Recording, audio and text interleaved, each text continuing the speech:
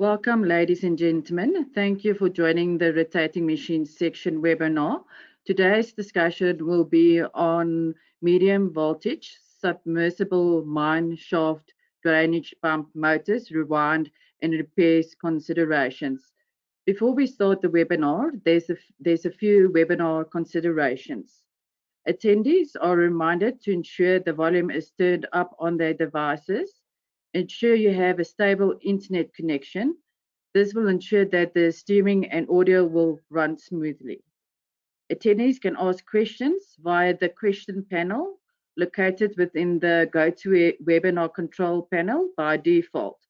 The control panel is located on the right-hand side of your screen.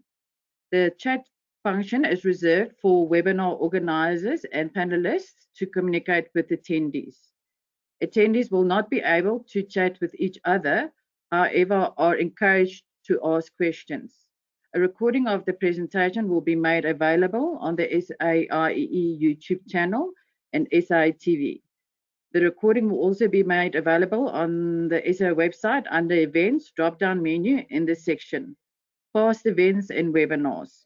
This page is updated regularly to ensure your you check back as often as possible for new uploads and subscribe to our YouTube channel for more uploads.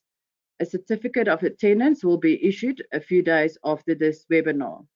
The facilitator for today is Jabu Bembe, the uh, chairman of the rotating machine section. Jabu Bembe uh, completed his B.Eng and M.Eng in uh, electrical engineering from the University of Johannesburg. He also completed his BTech degree from Vaal Triangle Technikon. He holds the government certificate of competency in electrical and mechanical engineering. He, he has more than 20 years experience working in the electrical machinery repair research industry. He currently works for the South African Power Utility Eskom as a researcher specialist in assets condition monitoring. He is a member of the Institute of Engineering Council of, uh, of uh, South Africa and the South Africa Institute of Electrical Engineers um, for Mechanical and Electrical Engineering Council of uh, South Africa as well. Thank you, Jabu. Over to you. Thank you very much, Joanne. Just want to greet everybody. Before we, we start our, our uh, webinar, I would like to introduce Richard Patton. Richard has, uh, has begun his career as a man, uh, at, at and courts in South Africa as a trainee technician, manager from 1982 until 1993. He then relocated to Zimbabwe from 1993 until 2002 and continued his career as the country's service manager for ABB. From 2002 until 2006, Richard relocated to, to the USA at the steel handle as the production manager. From 2006 until the present, Richard now fills the role of the divisional COO at Marthinusen and Coutts South Africa, Cleveland, a division of the Actom Pty Limited group. Let's get Rob's. Uh, okay, so Rob is, uh, is no stranger to, to us, and Rob, uh Robert uh, Rob graduated in electrical engineering from the University of the Witwatersrand in 1993, where he developed a passion for electrical machines that remains with, with him until today. Rob has presented courses and authored uh, and co-authored papers and articles both nationally and internationally. He's a member of the SAIEE, South African Institute of Electrical Engineers, as, as a as past chairperson of its rotating machines section and the current chair of SABS Rotating Machines Technical Liaison Committee, the, the, the IEC uh, is known. Robert has also chaired the Electrical and Allied Industries Association, a South African SEIF IFSA employee organization. He is a member of Wales Universities and Northwest Universities Industrial Advisory Board. Thank you, Rob. Thank you, Richard. It's up to you, Richard. Are you starting?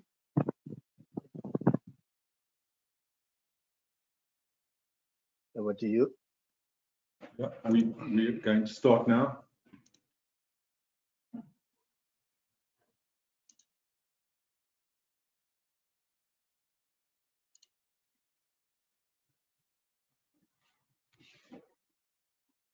Sorry, it's quite a big presentation, so it takes a few seconds to load.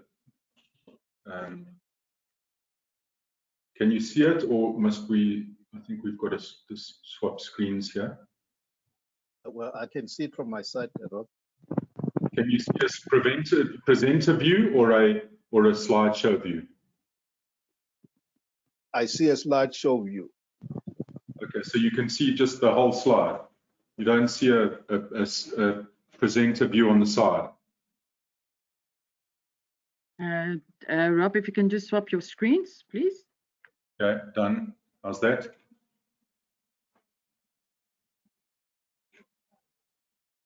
That's better. Okay, Rob. okay, Jane? Okay. That's okay, yes. Okay, sorry about that. We had the same problem during the dry run. These things happen. We, we're using two screens here, and if we want to see the main uh, presentation screen on the big screen, we, we uh, it, it, it interacts with yours. Um, I'm just here to introduce the, the presentation and the first few slides. Um, the, the presenter is my boss, um, Richard Botten. Um, he's the, as Jabu mentioned, the CEO of Marthinusen and Coutts, divisional CEO. Um, so he, I did very little of this work. I was probably involved in a bit of technical advice and some uh, root cause failure analysis, which was still fun in itself and testing and things. But um, generally, I've sort of prepared the presentation with material given to me from the MNC team and Richard. Um, so basically, this is about some work that we did on very large submersible pump motors. Um, and uh, and specifically the, the challenges to, to rewind them. Um, okay, the, the, this is what the presentation will be about, just some background information. Um, the pump designs themselves, okay, they, they uh, roughly 2.4 megawatt um, four pole pumps, uh, about 20 meters long. Um, and as Richard pointed out, or will point out, they weigh about 50 tons complete.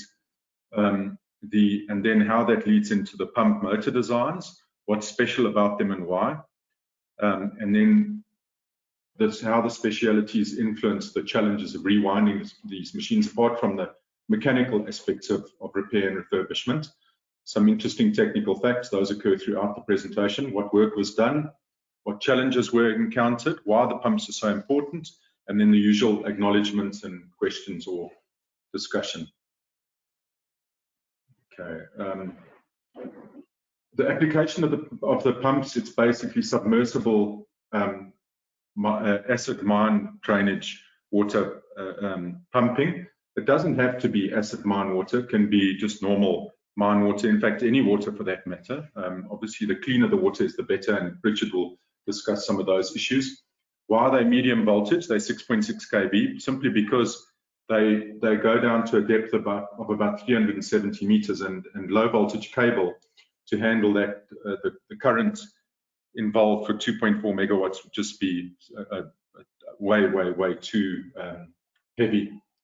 Um, the players are a mining company in Zambia, um, acid drainage customers in, in South Africa. I'll mention those just now. It's mainly TCTA, the Trans Caledon um, Tunnel Authority, which I never heard of before this, but I'll explain what they are. Um, and then um, the, the um, and then the, the, pump OEM hundreds um, from Europe.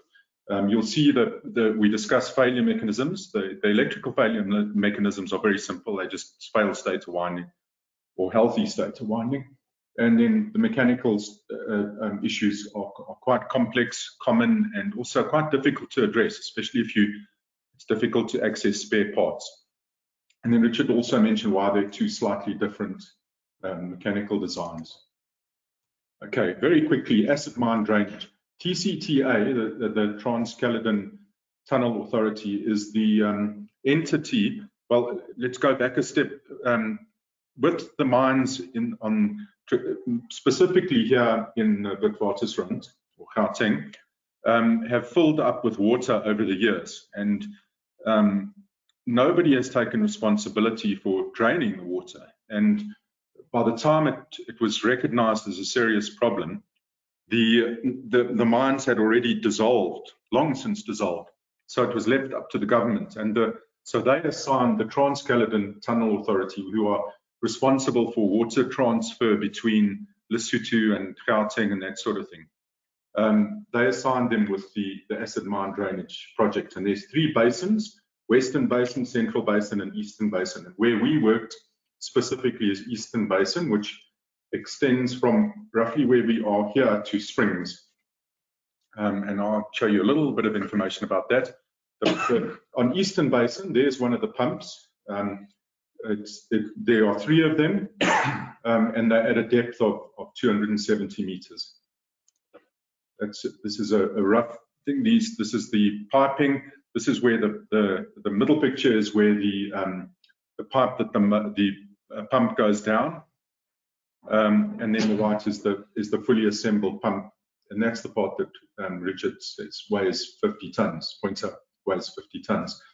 The, very roughly, the rated power is 2.4 megawatts, rated voltage 6.6 kV, and rated current 259 amps.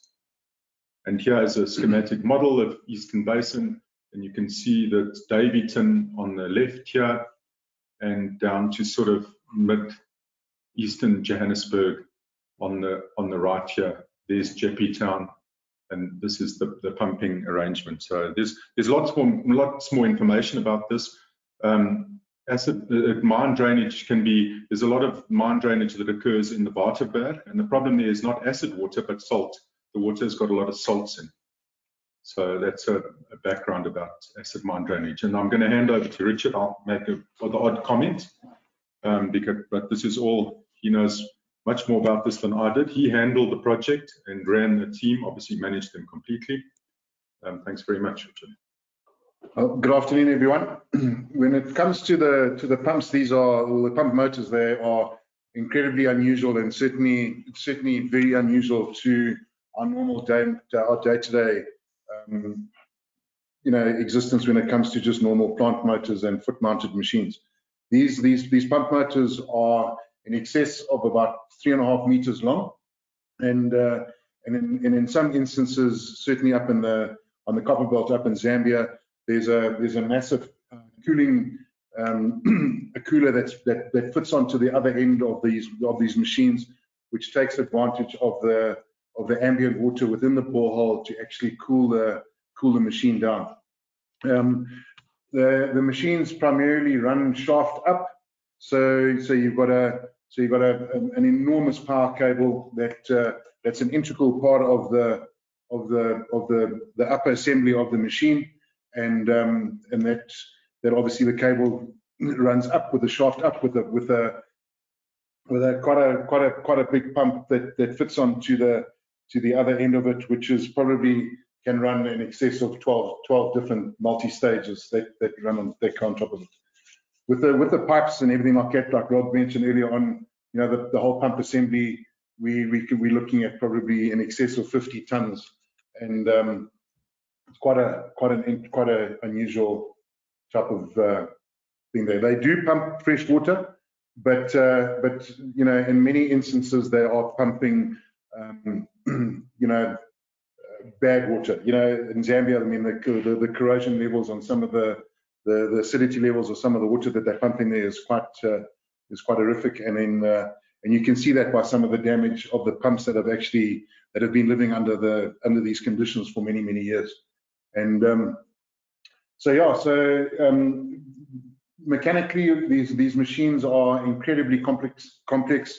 Um, they like I said earlier on, they run with a shaft up, so you've got quite a you've got quite a an, an integral a, a delicate um, thrusting assembly that fits on the on the non-driving side of this thing, and then um, the shaft is suspended in the vertical position um, as with a, a combination of, uh, of, of guide side supports that are that are, are made out of a, a, a, very special carbon composite and uh, some very um, well polished um, you know sleeves that actually fit you know around the machine that actually ensure that she that she's that she's running in center and and and within within the the dimensions of all the mechanical needs and uh, and specifications.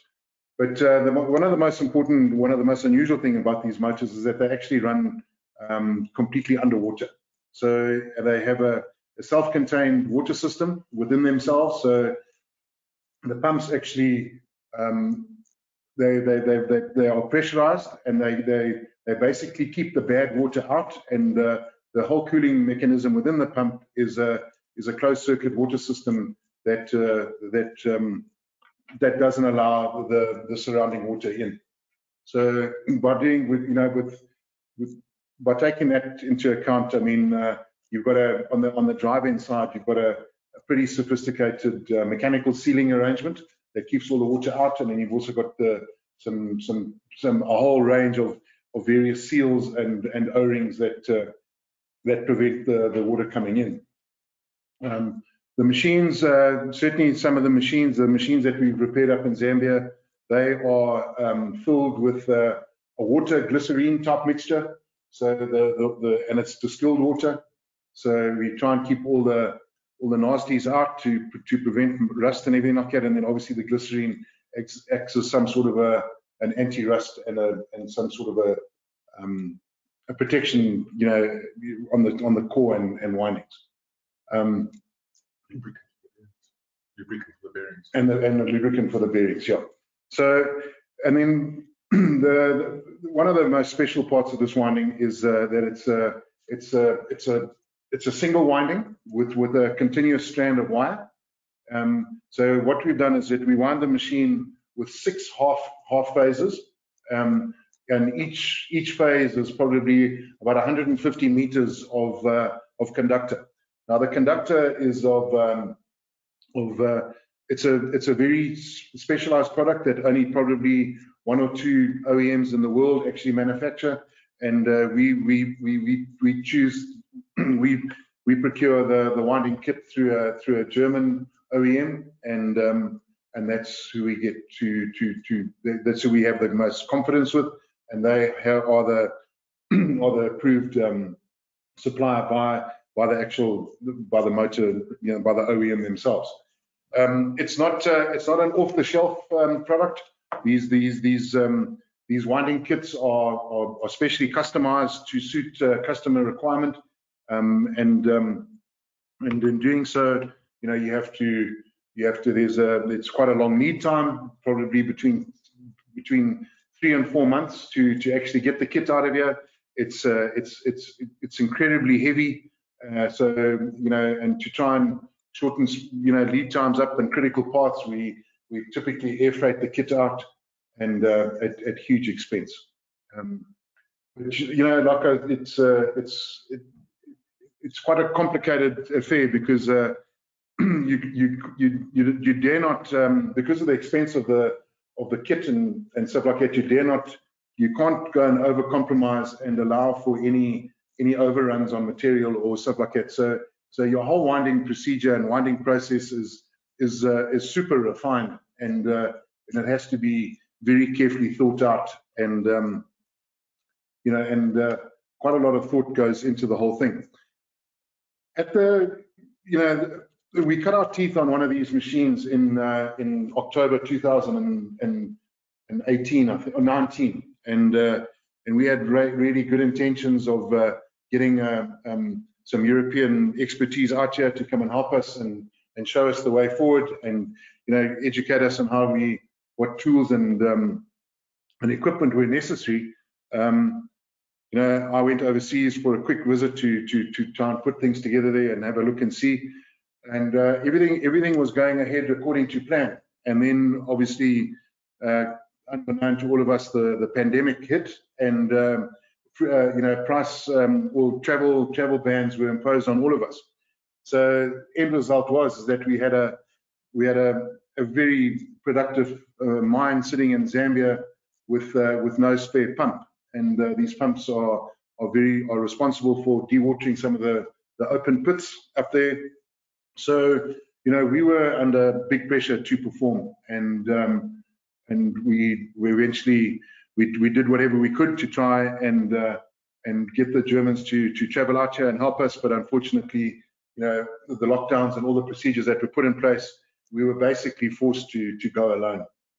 You know, and I suppose that that's in a way that's you know, one of the one of the one of the good things that COVID has has has, brought upon us is that we've had to we've had to go it alone in some very difficult times, and we've learnt and we've, we've got some some really good success stories. So so yeah, together with our our German friends and everything like that, we had lots of Zoom calls and uh, and lots of um, high-powered discussions exactly how we're going to do this thing. Obviously, things got lost in translation, and you know, you know, it became quite a became quite a difficult challenge. But we we we, we put our minds together and we kept a level head, and we have, have uh, we've uh, we put it together. And I think that I'll, I'll show you how we how we basically went ahead and did the whole thing.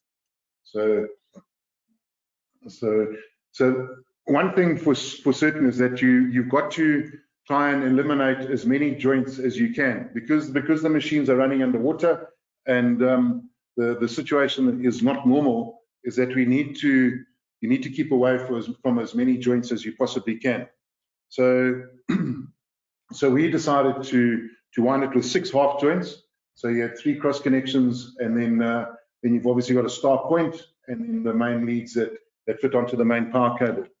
So we we we came up with a plan where we we developed these um, these like bullet type copper ferrules where we, uh, we, we we thought that you know tape it on both ends and and we had to try and, and um, you know polish these joints and make them as, as slick as we possibly could because of the the vulcanizing tapes that we that we had to use and to ensure basically you know a, a, a super seal to to to stop these to stop uh, water ingress and I'm, and I'm sure you could appreciate it. You know, just the, you know, if we did, if we did have a water leak and stuff like that in a, on a joint, I mean, the disruption to an end user of one of these pumps is absolutely catastrophic.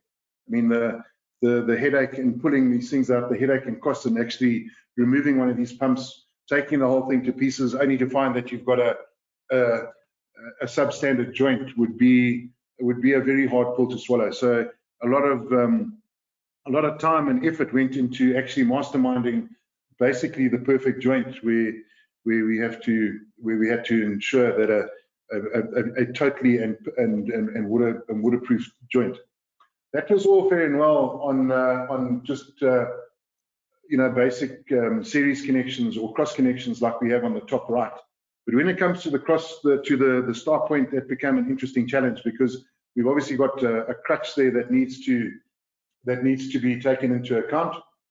And uh, and yeah, so the other thing about it also being a 6.6 kV machine is that uh, we've got uh, you know various forms of stress grading that needs to be respected, and we needed to to to fully understand exactly how the joint was going to be executed and what what tapes and how we were going to do it.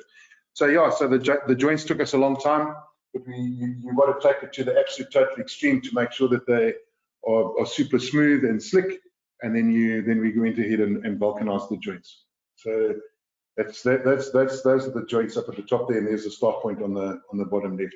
We've subsequently changed the design on that on that start point where we've uh, instead of binding it with little pieces of binding wire like that, um, we've gone ahead and actually made a ferrule, a, a, a two to one ferrule, so you can get a, a, better joint.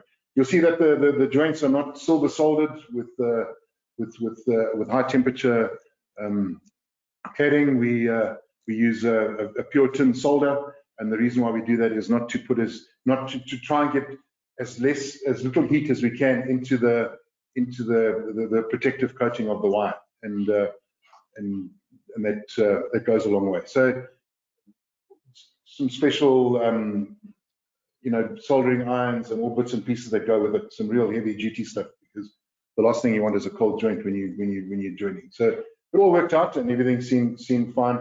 Um, very special tapes. They're all um, all imported from Europe, and there's a, a very special procedure on how to to go ahead and, and apply the tapes and all the and the and the stress grading. If I can just comment there, that's that's the OEM connection, and, and that's the uh, um, modified or uh, thing. So it's actually quite so just a plug for MNC there. Yeah. If, if that's allowed. So that'll what you what you see here is uh, is the winding that is basically finished. These are the the plain ends of the winding. So um, you'll see that the, the the core is basically a tube to try and uh, try and reduce as many losses as possible. This is all this is all fair and well, but what you've basically got now is that you've got a closed slot. So by having a closed slot, what's happening now is that you've got uh, you've got you need one one um, one length of conductor, and so to to wind the half slot. So we have to go in now and then uh, despool probably between 150 and 200 meters of, of conductor, and um, and then you got to then you got to look after that conductor, and then you got to start winding it out. We'll get into it later on, but uh, but that's exactly where the challenge comes in is, is trying to trying to wind a, a two and a half thousand kilowatt machine with uh, with a single strand of conductor. Um, in, in theory, it all sounds very it sounds easy, but uh, practically when you you need a, a, lot of space and you need to take uh, extreme caution when uh, when handling that that conductor. It's uh, it's pretty delicate and uh, it can't take too many bumps and knocks. So you know you know the, the, what I was talking about earlier on. You know taking it to the extreme on the joint is one thing, but but protecting the the outer sheath in general is uh, is uh, is uh, you know is, is is of huge importance because the last thing you want to do is start doing your tests and finding that you you've got a nick or a burr halfway through a winding, and then uh, that means you've got to take it out, you've got to cut it out, you've got to you're adding another joint, and then nine times out of ten you don't you, you're going to run out of conductor because you don't have enough conductor to to allow for all the for all the these redundant um, mistakes that could happen. So you've got to take it take it really carefully. Stripping the machine. This is the this is the you know you know, mechanically it's uh, it's complicated, and uh, typically when they are living, when these machines are living in uh, in harsh conditions and in acid environments, uh, although these machines are all made of an incredibly sophisticated stainless steel, you know, corrosion does creep in, and uh, and and all sorts of bits and pieces, you know, corrode and wear and and everything like that. So, you know, taking the machines to pieces is not a is not a is not an easy job you've got to make sure that you've got all the right tools and equipment to to deal with these these big heavy um, uh, end shields and sleeves. Um, this is this is a typical example of us taking one of the one of the pumps to pieces, um, and you'll see that it's all made up of sleeves and and real heavy end shields and stuff like that. But we'll get into the the mechanics on the next slide, I think. So yeah, so on the on the on the left hand side, you'll see that uh, that's that's a typical rotor where where you basically got to um, to try and deal with um, with turbulence within the within the within the rotor. You've got to you've got to and you can't add weight onto these machines, so you got to you got to take weight off on the on the balance rings, and um, and obviously you've got to try and you know, the, the holes have to be as precision as you possibly can. And uh, you'll see on this particular rotor, it looks like there's been a, a, complete overkill of weight on this on this particular rotor. But this was uh, there's a reason for that, and I'll explain that to you later. Because you know what was happening is that uh, the mechanical seal uh, burst on this thing, and you know, you know, acid water crept into this thing and basically eroded the core. So we had to make a correction because um, the delivery of a new rotor was just going to take too long. So, so there it is. There. I mean, uh, there's a typical case of what what some of this acid water did. You know, through it, it penetrated the machine through through a faulty mechanical seal and uh, and contaminated the water within the within the closed circuit. And uh, you, and it's quite weird to see that um, that the that the the, the bad water didn't have much didn't have much influence on the copper bars or the short circuit rings, but it certainly had an effect on the on the on the adjacent steelwork. Um, this was quite an interesting concept that took us uh, a bit of time to to to try and try and understand it. But yeah, it's a it's a it's a it's a typical example of uh, electrogalvanic um, wearing or um, corrosion as opposed to to friction. You know, typically see things like in in, in, in, dusty environments and stuff like that, but this is underwater in a, in a mine shaft. The, the, rotors look like little torpedoes where they, they've got a, a very, very low center of gravity, uh, quite difficult to balance. Um, you know, the, everything's all sick, you know, everything's all smooth and torpedo-like because uh, because of the, the, the, the, obviously you want to try and reduce as much friction as you possibly can with the machine running in, in underwater. So so yeah, so it's a it's a very it's a very slick little little machine that uh, that we've that's, that's obviously got to be as streamlined as possible. You'll see there on the on the on the, the right hand side is that um, the, the, the stainless steel sleeve that actually um, that acts as the guide in the big carbon in the big carbon sleeves that actually hold the hold the, the machine upright in, in the vertical position. It's quite interesting on the on on the on the on the Zambian machines is that there's a it's it's mixed with uh, with glycerine and water like I mentioned earlier on and it's uh, it's uh, it's quite a unique um, combination that the machines actually stored like that. So it actually acts as like a lubricant and and you know prevents all unnecessary um, corrosion. So yeah, so some of the winding challenges is that, like I said earlier on, is that you've got a you've got these these these cable lengths of between 150 and 200 meters long. Um, um, you, so you need you need a lot of space. So so you you you wind so you've got winders at both ends of the machine, and then you've got a, a take up on the one side, and then to try to try and pull 150 meters of wire that's in excess of like 10 millimeters in diameter. Um, you you're looking at, uh, at, at some, some you know a lot of force and a lot of energy to pull that through. So what we decided to do was to to make some sort of a, a donkey arrangement on the other end using a capstan type wheel and friction to try and pull the pull the conductor through. And on the other end, we had um, a takeoff pivot that we that we use to to to loop the loop the wire around because, like I said, it's it's one continuous strand. And um, so this this the, the, this picture here on the on the right on the left hand side is a, is a typical example of the of the non-connection end. Um, where the the, the, the, capstan or something like that sitting on the other side, and, and using and using the, the pulling effect to pull the wire through. Um, and in doing so, you know, at the end of every turn, you've got to turn the you've got to turn the whole batch upside down because the last thing you want to do is get that kinked hosepipe effect, and uh, and because that'll that'll just uh, damage the conductor, and you've got to live with that. You're going to have to live with that kink in the in the, the thing in the in the job, and um, you'll never be able to get the kink through through the through the closed slot. So you know, extreme caution has to has to happen here.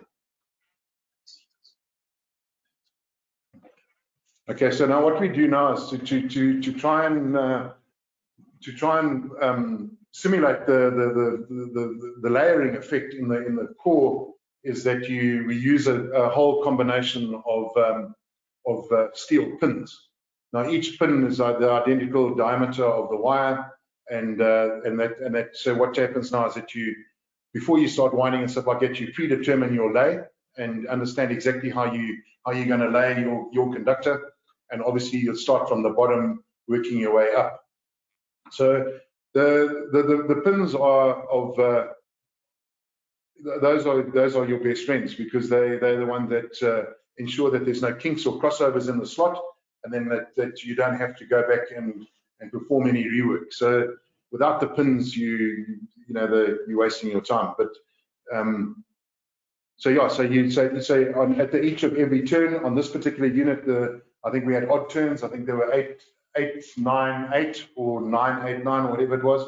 But um, and you then you just uh, you predetermine your your lay with the number of pins that you're going to use, and then each conductor you, you, you just replace one pin with with uh, with with with one end of the conductor, and uh, that's basically how you how you get the lay.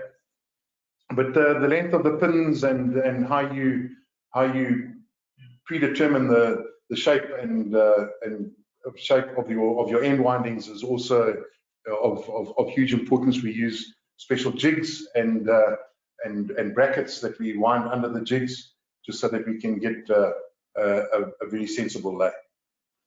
So in this particular instance here on the left-hand side, you'll see that's the other end of the machine where the, the, the, machine in front of you is the is the friction wheel, is the capstan, and um, you that, and that's what's that's what's pulling the conductor through.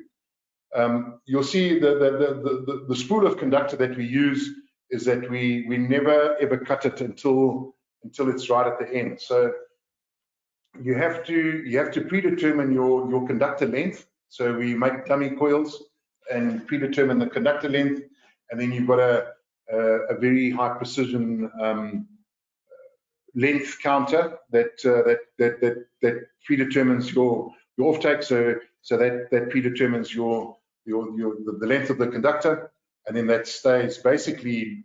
Well, it, it's it stays the, the the drum stays charged until until the end of the wind, and then only then once we have have fitted the whole winding and we're confident that that everything's okay, then we'll go ahead and, and cut the cut the conductor because the last thing you want to do is just go ahead and guess a length and then have a whole lot of waste at the end of this thing. And uh, um, because you cannot you it's it's almost impossible to to make the joints. And if you get a joint halfway uh, you certainly will never be able to join a conductor in the slot.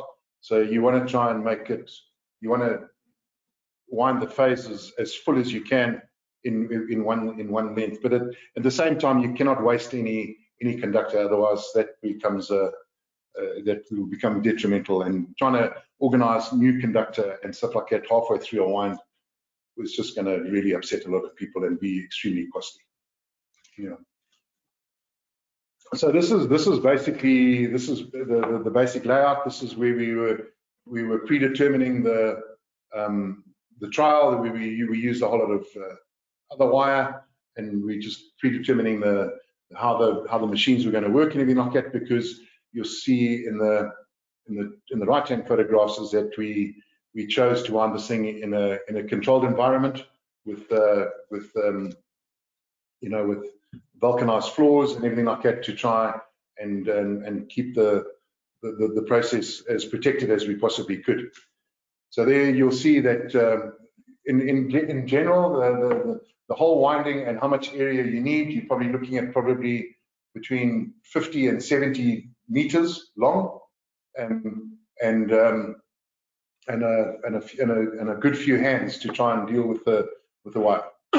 You'll see that um, that the on either end of the of the of the stator you've got uh, you've got a you've got foot controls onto the capstan at the back there to to to to, to slow things down and um, just to to ensure that you don't get any overruns or you you don't start you know you've got you want full control at any one time because uh, if anything gets jammed or something like that you can't have that uh, that part of the procedure being someone else's responsibility. So a lot of a lot of caution goes into this whole thing and uh, and a lot of training. Yeah that's it. You know, so at the at the other end, you know, you're dealing with 150 meters of wire of cable. So you've got um, so you, you you've got at the beginning and the end. So you you've got to be incredibly disciplined in how you how you stack the and how you lay the cables on uh, on the on the ground. You, we thought about having um, take up take up spools going in either direction, but that that was just going to add a, a, memory into the conductor, which was going to be hard for the winders to to deal with. So we decided to just big loops on the ground, um, you know, obviously, you know, on canvases to try and protect it all and uh, taking it from there. But like I said, the, the, the, most important thing is to is to stop getting that uh, that kinked the kink a kink conductor and um, and, and you, you, know just trying to trying to deal with that would be a complete nightmare. So here, here's here's here's a here's a good slide that that shows you from from beginning to to end. So you'll see that the on the on the left side that's uh, that's the first coil. That's uh, that's one third of one phase. So and then uh, then you'll see that as as time progressed, I mean, and the, the wires got shorter. You know, it uh, we we we we put the, the, the full winding in, and then uh, the the far left or the, the, the left hand thing there is um, that's the complete winding that with uh, with the, the big um, um, big composite uh, diffusers inside there to to try and help you that, that helps protect the winding against when you're putting the rotor inside. And um, and you also have a look inside there. In the in the inside there, there's a stainless steel ring that actually forms part and parcel that that closes off the slot so we don't get any any migration of the wires actually wanting to pull through the slots. Um, and quite interesting enough is that the wedging material that we use on those slots was just straightforward pine. I was a little bit confused about that in the beginning, but uh, but you know what happens is that pine actually absorbs water and uh, and and and you know it basically it, it's it self uh, it self swells so you don't have to but to try and and put a nice tight wedge in uh, a, a, single wedge in a distance of like three meters becomes almost impossible. But the the pine becomes your friend and uh, and yeah and swells in the water and and that becomes a you know it, it's it's a good wedging media. It's it's it's quite it's it's a little bit too effective because trying to get it out you know, after many years of service becomes a, a challenge, and the only way you can remove those windings is to is to actually cut them out. There's no there's no ways that you can ever that there's a simple way of removing those wires and and attempting some sort of a patch repair or anything. Testing of the of the unit is uh, is seriously unusual and uh, and defies all all you know armature winding practice. Um, so what we're doing with this thing, because it runs underwater and we're using special conductor, is that all the tests are conducted underwater. So so we we've got these big um, these big baths where we we take the stator and we we, we test it at, at at the end of each half phase. We we we test to just make sure that we that we that we're good. so just a normal some routine tests of just you know megger tests at 5 kV and then just some resistance checks because we need to we need to you know understand that our our resistances are all balanced on each phase because we you know we just got to double check our, our, our measurement. And then the the high voltage tests are, are quite unusual. So we so we're testing to a full IEC uh, spec um, 6.6 kV machine uh, at 14.2 kV to ground underwater. So you know so so the tests are, are quite hectic and are, are, quite unusual. This is a machine here where we got the, the, the, entire stator completely submerged underwater and we we'd leave it there for 10 minutes just to just to get it soaked and everything like that to also um, give it if there is an if there is an, a, a, a damaged or a nicked conductor is that it gives it time for the, the water to seep in and uh, and and then, and then we'll do our tests and uh, that's it. So after every half phase, we we repeat the tests, and you can see here that um, you know the I think that these these last these certainly the these two tests that we're talking about here are the completed winding, and um, so you'll see that we we submerge them, and then when they when they finish testing and everything's okay, that uh, we drain it out.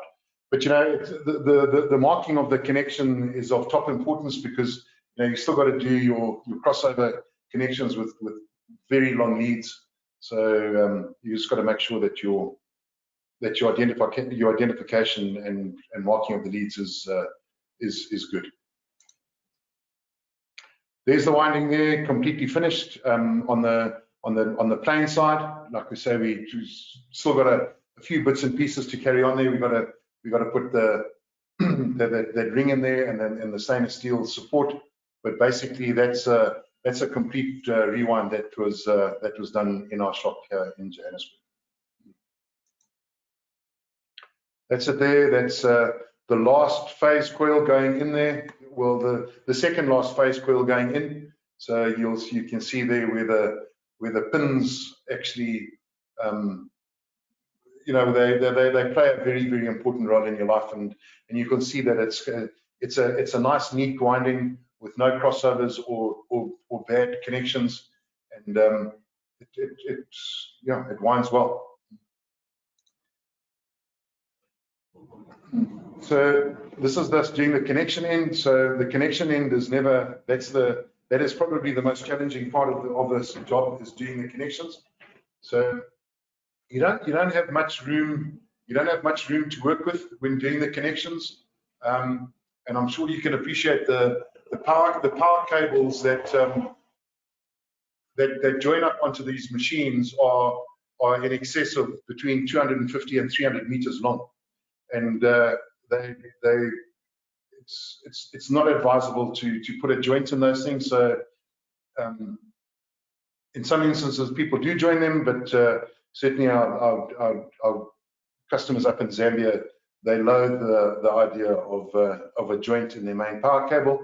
So so so we have to make a we have to make a join and, and join the, the cable. So on a typical connection like this, we've got three cross connections, and then you've got um, then you've got a start point. So but because the, the, the power cable is an integral part of the of the of the end shield, and you and you can see that on this slide here, is that the cable comes through the end shield and then goes onto the onto the winding.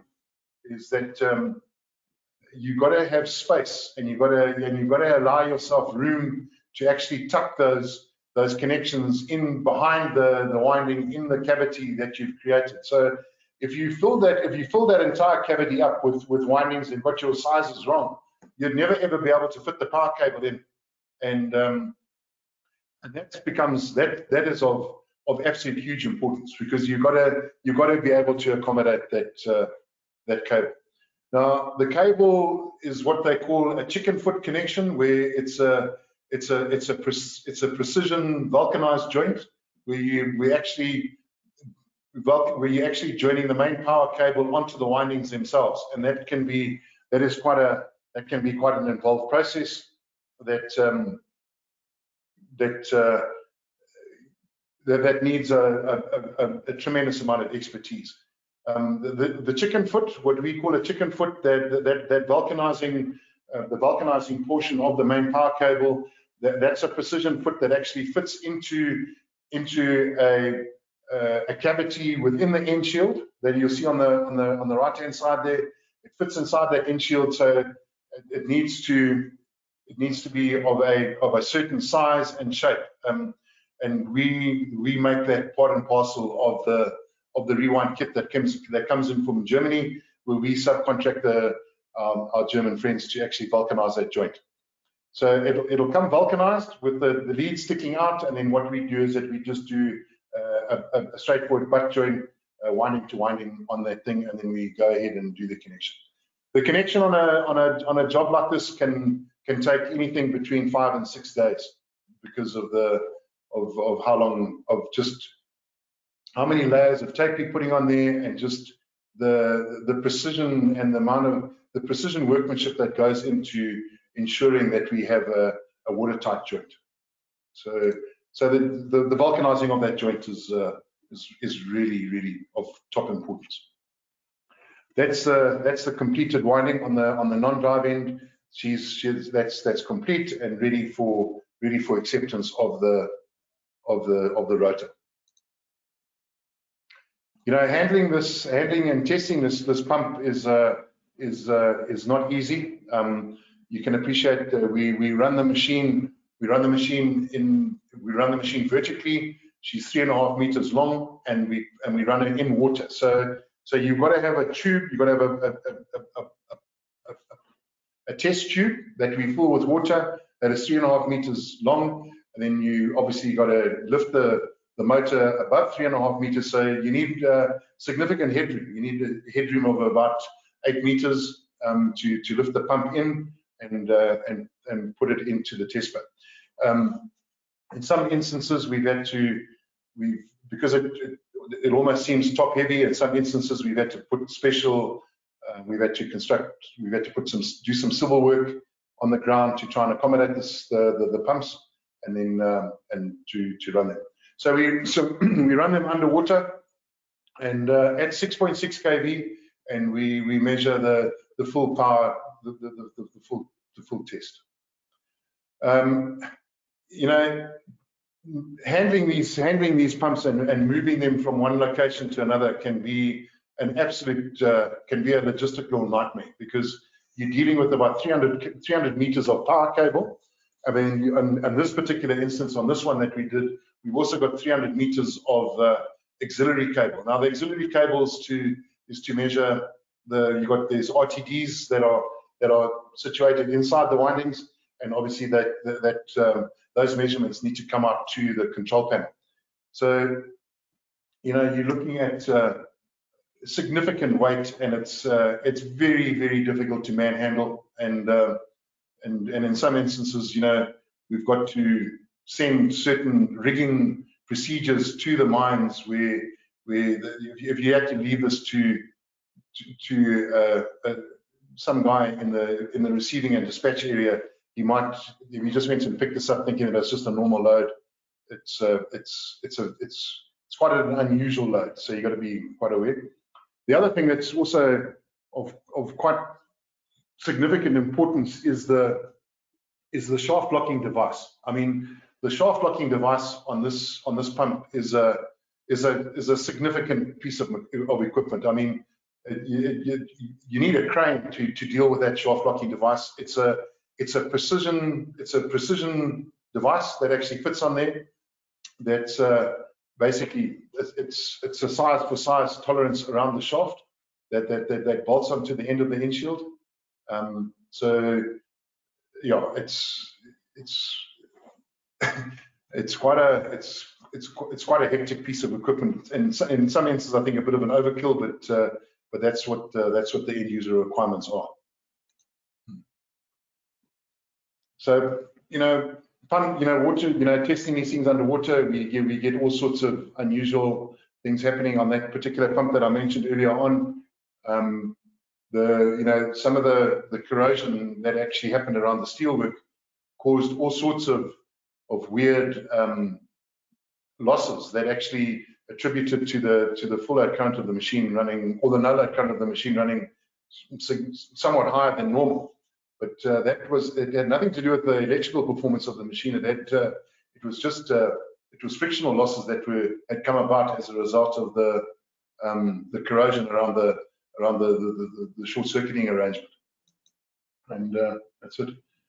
So that's uh, that's us fitting the pump in our in our in our in our test bay here in Cleveland, and um, you know, and we obviously we, we wanted to to to measure. We got we put big um, adapter brackets in there, so so this thing could uh, could sit in a in a nice firm and comfortable location within the within this tube of water, and um, and then testing it became quite an interesting operation as well because we needed to we needed to understand exactly what the the vibration parameters were on the on both uh, drive end and non-drive end.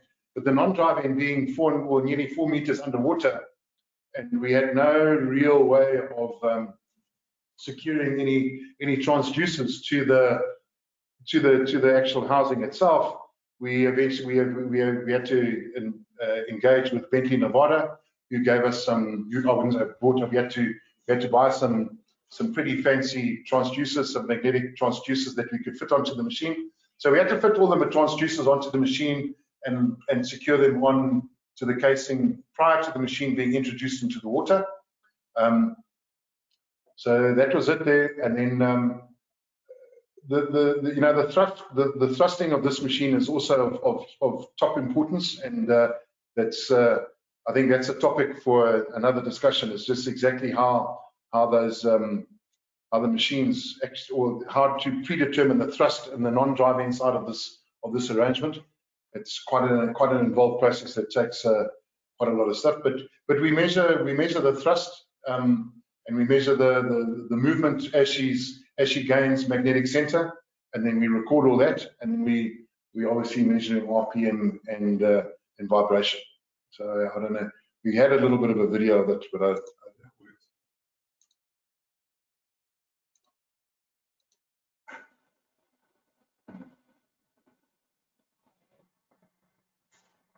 So, so the, you know, it, it, was quite weird when we when we tested our first one. We didn't we didn't realize exactly how hot and how quickly the water actually heated up. But uh, you know, there's obviously a lot of mechanical. There's obviously a lot of losses that are that are being absorbed by the water, and uh, um, you know, there's obviously a, fair, a lot of friction that goes in there, and the and it's a it's a it's a very limited amount of water. So we could only run the machine for like two hours. And then the, water temperature got up to about 70 degrees.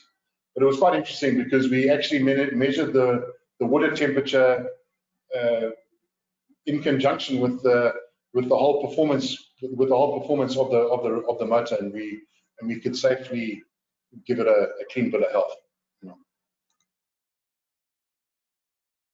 you know once once again, uh, I think uh, we you know taking into account that we we basically did this alone with with with very very little help from any overseas OEMs and stuff like that. I think uh, I think the guys at MNC did well, and uh, you know we we performed it in South Africa by South Africans, which I think it was an amazing thing, and uh, it was a it was a it was a magnificent thing to to the industry because I mean if we didn't go ahead and do this, I mean I don't think these end users would have had much you know would have had many options but to do is to to pack up these these complex motors and send them overseas and get them repaired in in, in Europe.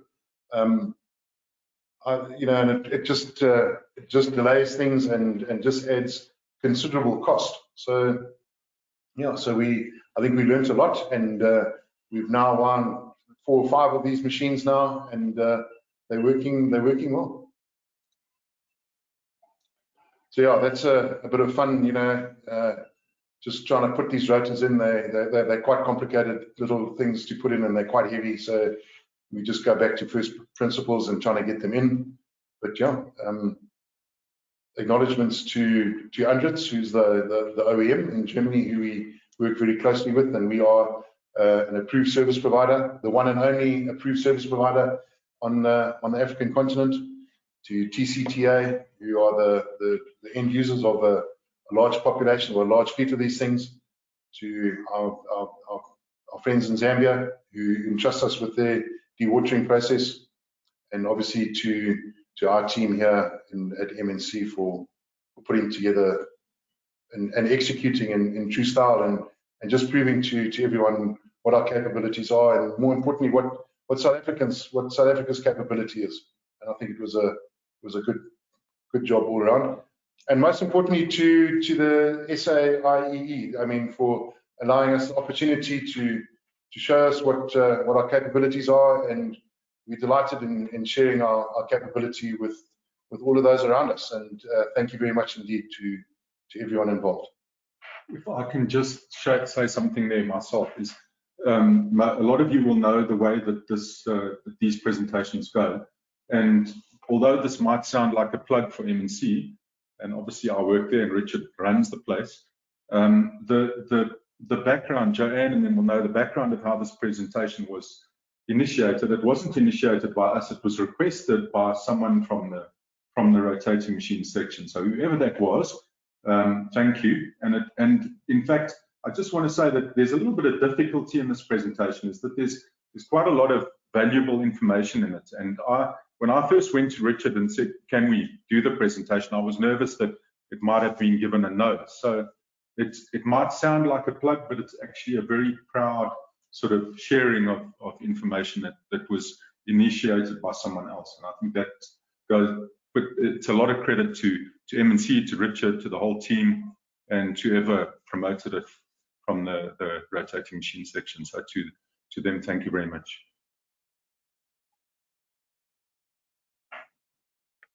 Thank you, Richard. Uh, thank you, Rob. That was an interesting uh, discussion, and we really appreciate for this kind of knowledge. And uh, you know, I've always thought of submersible motors as just uh, small machines that you find that the plumbers and other people use, but I was surprised there's something this big.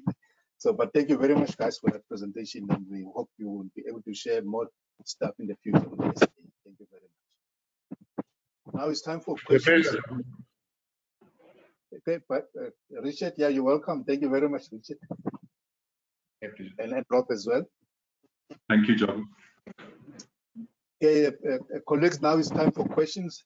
And I see there's one or two questions that the, the people have already put up. And uh, uh one question is a phenomenal job at uh, uh, MNC.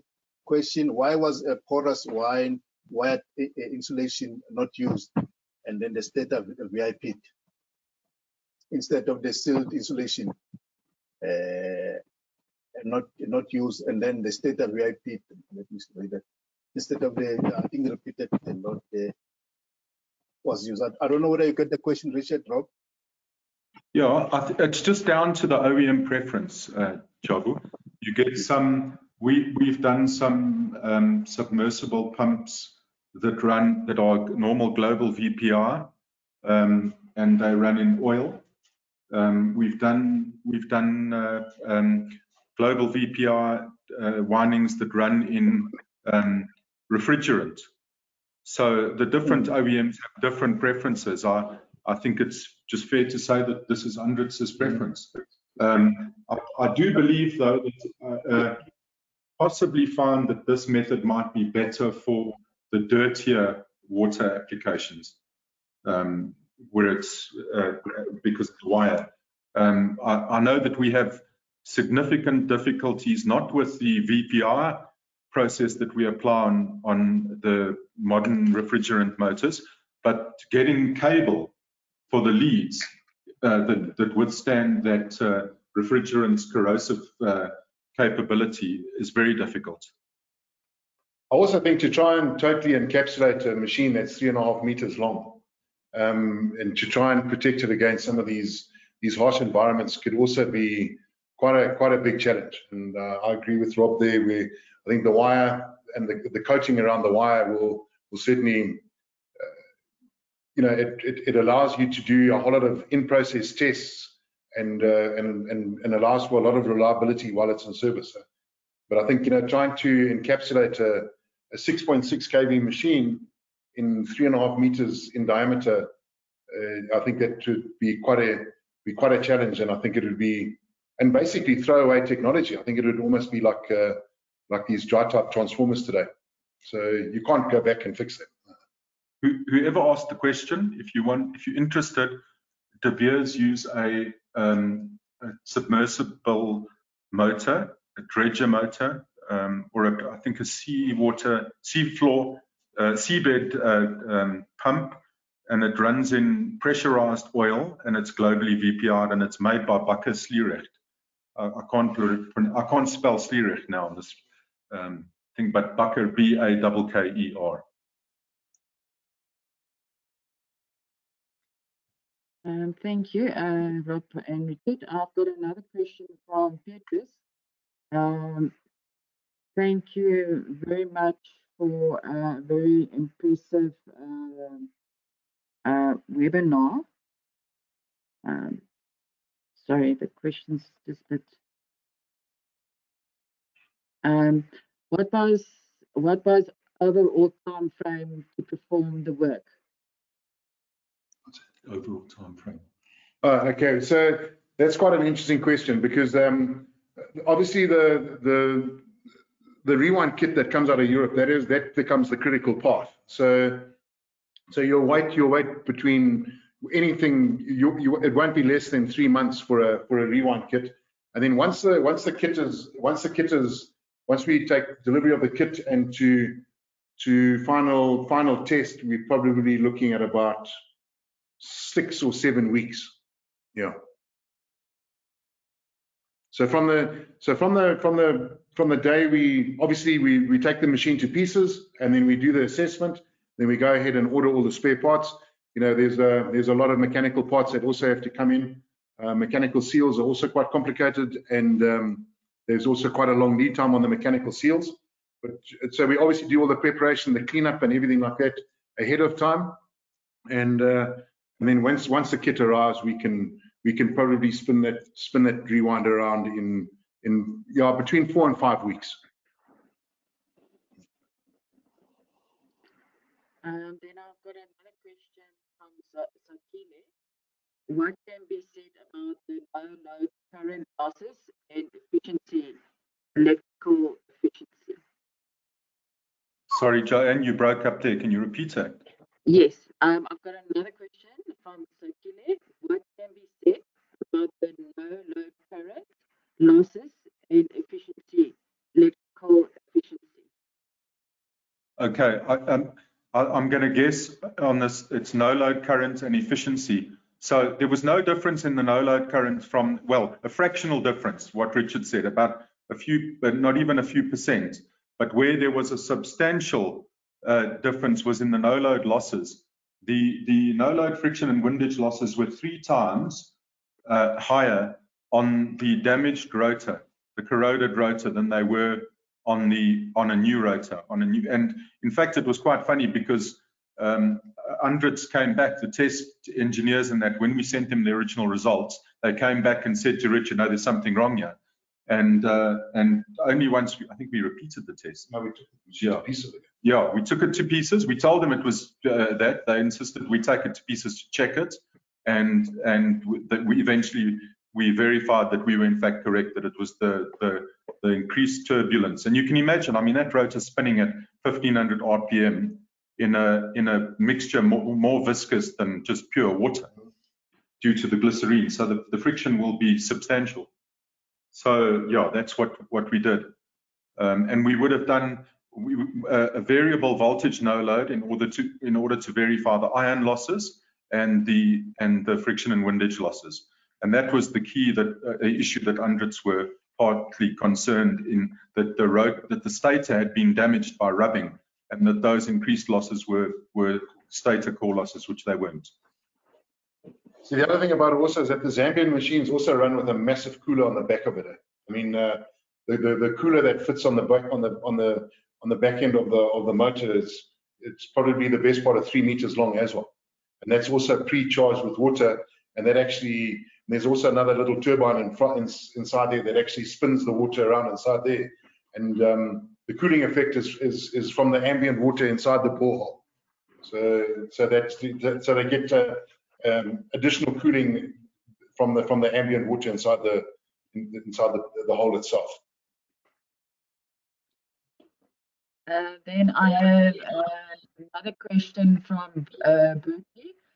Since M&C has rewind five of these motors, what is the lead time for rewinding a submersible pump at this stage? Lead time. Yeah, on the, on these particular time, on these particular machines, I think it's, we've answered it before, but I mean, on these particular type of submersibles, um, you're looking at probably three and a half, four months, you know, you know, from, from, from date of arrival to date of dispatch. Um, the other thing about it also is that we mustn't, uh, don't, we, we, we, you know, on some of the smaller submersibles, you know, some of the domestic and some of the smaller industrial type submersibles, it's not economically viable to go ahead and wind the machines. So, you know, so there's there's there's a there's a very very big difference between uh, domestic small industrial and these large industrial. Great. And uh, then I've got another question uh, from Jim.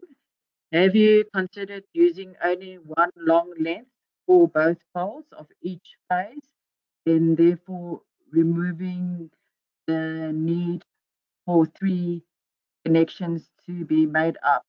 I appreciate this would cause a little more need for careful handling, but it would reduce connection risk. Yeah, so yeah, that's a that's a that's a that's a good point because uh, we when you when you take the machines to pieces, I mean, so what happens is that the OEMs actually they actually incorporate in their in their winding design, they incorporate the crossover to go on the on the on the plain inside of the winding. So, and that was that was where we we had to we had to make quite a we had to make quite an interesting call there because we didn't it doesn't matter what type of communication we had with the with the guys overseas is that they could never explain to us exactly how to do this whole thing. And it was it was it was gaining a half turn and losing a half turn as a result of the crossover in the in the non-drive inside we didn't we didn't think it was we thought it was high risk to go ahead and actually go ahead and attempt this uh, this um, this this half turn crossover you know on the on the non-connection side. Because if something if something went haywire and uh, and we and we picked up a an incorrect resistance then we would have had to we would have had to sacrifice a whole a, a whole winding. And we didn't have and we don't we don't we don't have the the luxury of having that um, you know that you know you know spare windings lying around. So we decided that um, we'll just go back to to normal normal principles and on the front end just do the the the, the three cross connections.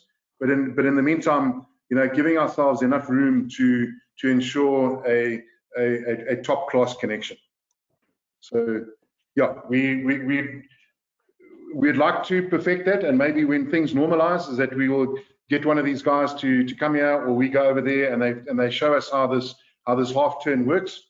But at the but at the meantime, we we prefer the the fail safe method of what we're doing at the moment. Great. Thank you, Richard. And our final question for today is from Prof. Jan de Kock. Uh, do you know how the motors are electrically in service? Sorry, Joanne, you, you're sounding perfect at some stages, but then you disappear. Can you please Okay. repeat the question? Uh, we know it's from do- Prof. Okay. Do you know how the motors are electrically in service? No, you're disappearing again. Okay. Uh, can you hear me now, Rob? Yes, yes. Do you know? Do you know how the motors are electrically in service?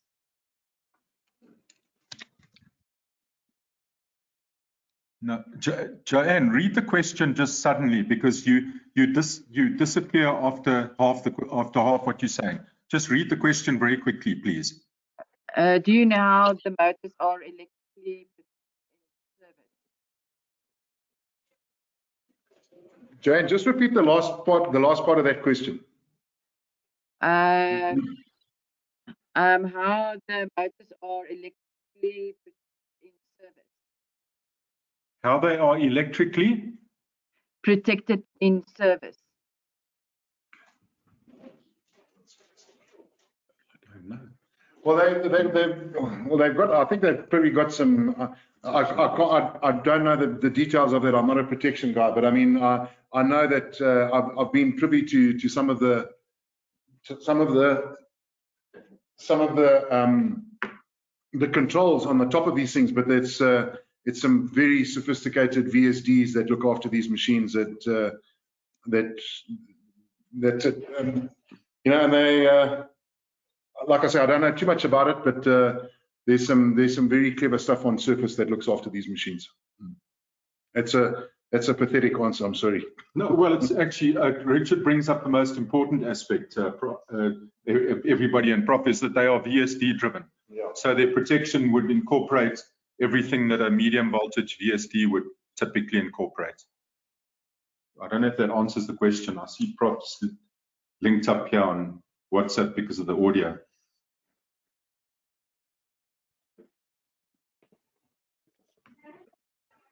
Okay, it's answered. Thank you, Prof.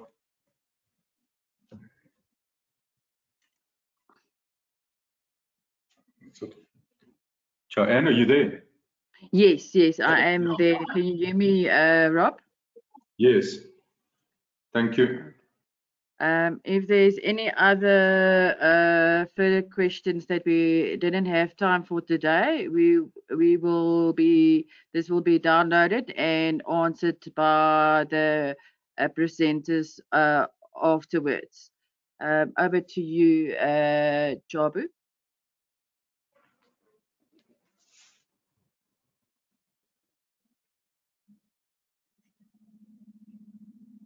Okay, I see Jabu has uh, lost uh, connectivity. Um, I just want to thank uh, Rob and uh, Richard for a wonderful uh, presentation and for your time as well uh, um, for giving this uh, presentation. Um, anything from uh, your guys' side, uh, Richard and Rob? Only a pleasure, and uh, thank you very much for allowing me the time to to to show you what we do. Yeah. From my side too, and thanks to Richard and his team for the for the info and work to present. And thank you, Joanne, thank you, Jabu, and thanks to all the uh, section members and and anybody else who's attended. Thank you. Um, and uh, thank you for everybody that has attended this webinar and the webinar is officially closed. Thank you once again and take care. Bye. See what Mike said. Okay, let's do this first. What is clocks? Kumto. No, they, they fly. No, but they've been